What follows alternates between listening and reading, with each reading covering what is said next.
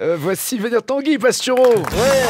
Allez Tanguy ah, je suis content que demain ce soit la grève parce que c'est ça la France. On retrouve notre identité. Et puis j'aime bien les syndicalistes parce que ce sont des gens qui physiquement ressemblent à Daniel Morin. Euh, quand je regarde les images des défilés aux 20h, j'ai toujours l'impression qu'on a cloné Daniel et que la machine s'est emballée, quoi. Qu'elle a craché 100 000 Daniel avec le regard noir de Daniel. Et sa pilosité folle, ses rendez-vous coquins les plus hautes, ça a été avec des paysagistes. Mais en France, notre histoire est faite de manifs, d'affrontements parce qu'on est comme ça. On râle, on se bat. Parfois quelqu'un dit bonjour, l'autre répond oh, ça va, hein?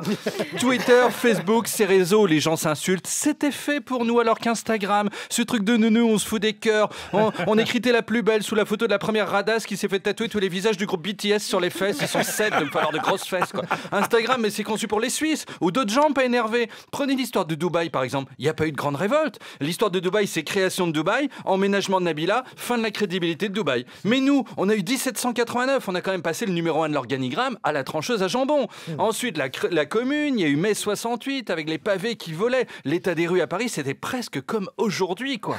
Hein, là, on nous reparle des grèves de 95, époque où Alain Juppé, un type qui ne riait pas, c'était l'Elisabeth Borne de l'époque, hein, avait parlé d'un plan sur les retraites. Là, 2 millions de gens dans la rue. Hein. Et pourquoi est-ce qu'on est comme ça? Eh bien, parce qu'on est une démocratie en tox. C'est Papy Tanguy qui vous le dit.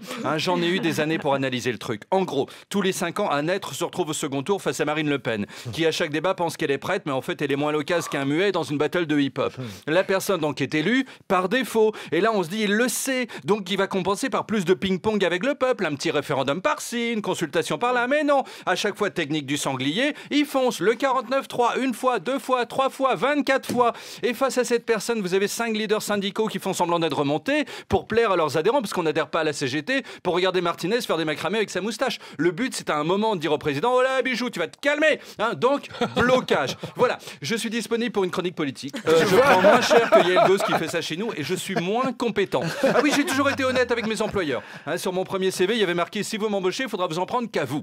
Alors, demain, concrètement, le pays est bloqué, on bouge plus. C'est une sorte de 1, 2, 3 soleils géants. Euh, dans les écoles, c'est 70% de grévistes. Le tarif des nounous a pris 2000% d'inflation. 4 euh, heures à garder le petit, la, nounou dans la foulée par au baléard. Euh, Daniel Morin en pleurs m'a dit Mais enfin, que vais-je faire de mon enfant demain? Je répondu Mais enfin, Daniel, tu travailles à France Inter. Même les grèves que personne ne fait, on les fait. Tu crois vraiment que là où tout le monde est en grève, tu vas sortir des vannes avec en fond sonore la musique des saucisses Certa Eh ben non hein. Demain, demain, je pense que la playlist de grève, elle va tourner. Il va en toucher des droits de diffusion, Bertrand Belin.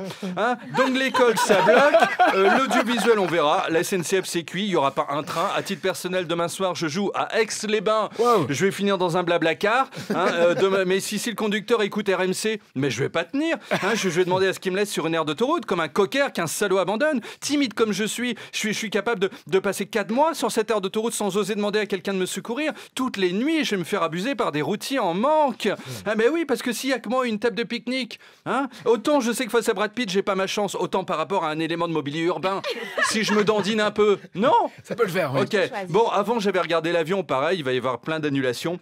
En fait, demain, il ne faut pas se déplacer du tout. Même si vous êtes dans votre salon, que vous allez à la cuisine, je pense qu'il y aura quelqu'un pour vous traiter de casseur de grève. Donc j'en appelle à Bernard Arnault, qui écoute peut-être France Inter pour apprendre de nouveaux mots qu'il ne connaît pas encore, comme TGV, métro, grève, gens de gauche. Bernard, vous avez un jet, on le sait. Donc pitié, soyez mon blabla plane. Nana, mon Bernie, je t'aime. Connais-tu Aix-les-Bains? C'est très beau. Hein, L'air y est pur, on y mange bien, donc allons-y tous les deux. Voyagez avec moi C'est l'assurance d'un vol reposant parce que j'aime pas plus que ça discuter.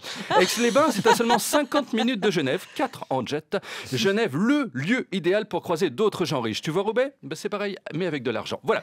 Bon, tout ça pour vous dire que demain, ça va être costaud, comme à chaque fois. En plus, on panique vite. Hein. Il y a déjà des pénuries d'essence parce que tout le monde essaie d'anticiper une pénurie d'essence. Oui, ben, on n'est pas le peuple le plus intelligent du monde. Hein. donc demain, tous en télétravail avec les gosses qui buglent autour pendant que le conjoint essaie de remplir la Twingo et que le frangin part acheter du PQ et des nouilles parce qu'à chaque fois qu'on se prépare comme si les nazis revenaient, quoi. Hein, ça va être un beau boxon, mais ça fait le charme de notre pays. On s'est construit dans la fureur. Vous allez au Louvre, pour un portrait de femme nue, il y a cinq tableaux avec des gens sur des barricades. C'est pour ça que je déteste l'art.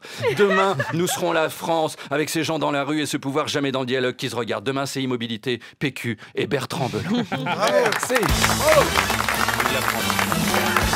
Tanguy Pastureau. Bah, peut-être demain à Aix-les-Bains si le plan blabla pleine fonctionne. On va tout faire. Sûrement, sûrement. Oui.